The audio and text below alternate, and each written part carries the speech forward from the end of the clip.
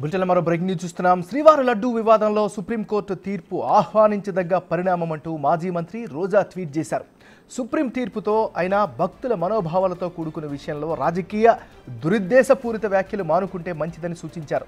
విచారణ ఆధారాలతో సంబంధం లేకుండా రాష్ట్ర ముఖ్యమంత్రే రాజకీయ ఆరోపణలు చేసిన నేపథ్యంలో వారి పరిధిలోని విచారణతో నిజాలు బయటికి రావని మొదటి నుంచి చెబుతూనే ఉన్నామని తెలిపారు.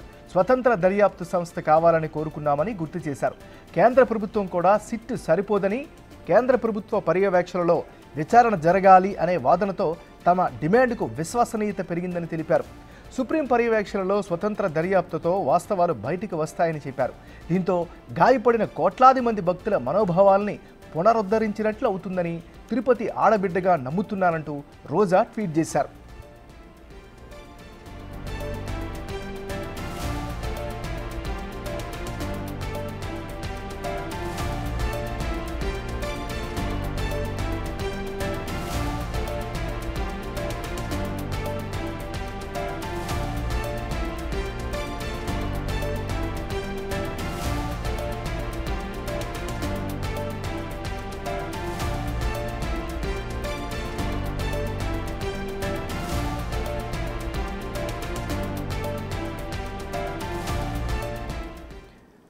శ్రీవారి లడ్డూ వివాదంలో సుప్రీంకోర్టు తీర్పు ఆహ్వానించదగ్గ పరిణామం అంటూ మాజీ మంత్రి రోజా ట్వీట్ చేశారు.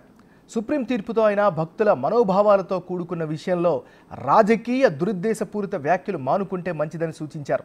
విచారణ ఆధారాలతో సంబంధం లేకుండా రాష్ట్ర ముఖ్యమంత్రి రాజకీయ ఆరోపణలు చేసిన నేపథ్యంలో వారి పరిధిలో విచారణతో నిజాలు బయటికి రావని మొదటి నుంచి చెబుతూనే ఉన్నామని తెలిపారు.